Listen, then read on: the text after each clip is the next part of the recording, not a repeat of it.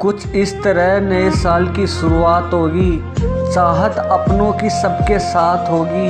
न फिर गम की कोई बात होगी, क्योंकि नए साल में खुशियों की बरसात होगी। Happy new year our friends